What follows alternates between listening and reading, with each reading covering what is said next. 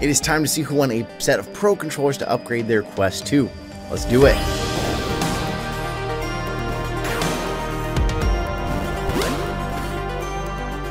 Alright, we are here on the Gleam. This just ended. We're going to draw winners. We're going to draw. There we go. We're going to draw winners. So we had 1,133 people pick. One winner to pick. Let's go. Okay, is my mouse having issues? There we go. And congratulations, Santiago Castanon.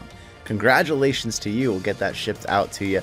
To everybody who had entered, we have another Quest 2 giveaway still going on right now. I'll leave a link up here if you want to get entered in that, or it might even be over here off to the side. So make sure if you're still looking to win something, we got that going on and it's been just a huge year thanks to all of you. So let me know in the comments what what other things do you want to see us give out or give away, have people win. People seem to really love the Quest 2 giveaways because they're so anyone can win a Quest 2 and use it. It's not like you have to have a PS5 for PSVR 2, or even this one, you had to have something to use the Pro controllers on. So, a lot of cool options, but let me know in the comments what you think. I want to say thank you once again. We just hit 36,000 when I swear we hit 35 like last week. So, thank you.